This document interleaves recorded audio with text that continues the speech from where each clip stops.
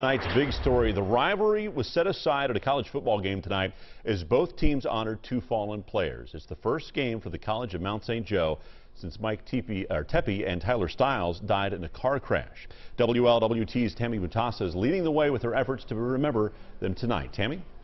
That's right, Andrew. The athletics director says this game wasn't about winning or losing. It was about honoring two friends dearly missed by their teammates. This afternoon, the team had a very emotional moment of silence for Tyler Stiles and Mike Tepe. This is the first time the team played since the well-liked 22-year-olds died in a head-on collision last Sunday.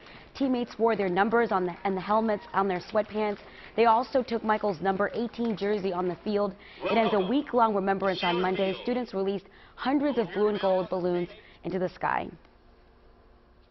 And they seem to be focused on this game at this point, but I, I'm sure that there were, I know that there were some guys that missed days at practice this week because this is difficult.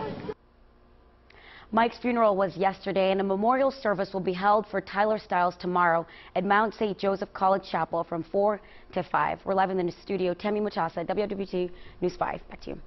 Yeah, one more note. Mount St. Joe lost today to Thomas More College. The final score 59 to 13.